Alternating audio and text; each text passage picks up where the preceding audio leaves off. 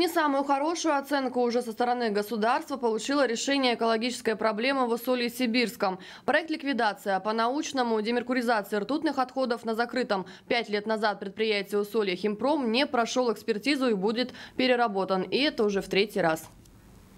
Об этом на заседании законодательного собрания сообщил министр природных ресурсов региона. По словам чиновника, который приводит агентство «Телеинформ», проект, разрабатываемый с 2012 года, попросту устарел. Первоначально планировалось захоронить оставшиеся на предприятии угрожающие безопасности природы и людей ртутные отходы в саркофаге, остальные же вывести и утилизировать. Однако в 2014 году подготовленный план не прошел госэкспертизу и был отправлен на доработку. История повторилась и спустя еще три года. Теперь технологическую техническую составляющую демеркуризации придется создавать заново, но уже известно, что от идеи создания саркофага намерены отказаться и хотят сконцентрироваться на переработке. Акцент на переработке решено сделать и в вопросе решения другой экологической проблемы региона отходов целлюлозно-бумажного комбината. Уже 13 ноября в Байкальске состоятся общественные слушания по вопросу рекультивации. Проект разработан Росгеология совместно с иркутскими специалистами. Он подразумевает переработку шлам-лигнина в активированный уголь с помощью термической реакции. В Впоследствии